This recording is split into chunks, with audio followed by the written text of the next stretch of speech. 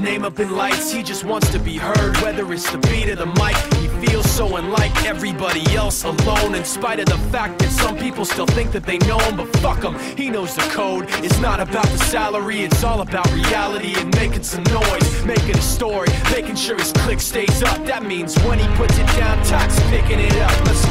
He anyway? He never really talks much, never concerned with status, but still even him starstruck. Humble through opportunities given despite the fact that many misjudge him cause he makes a living from writing raps. Put it together himself, now the picture connects. Never asking for someone's help or to get some respect. He's only focused on what he wrote. His will is beyond reach, and now it all unfolds.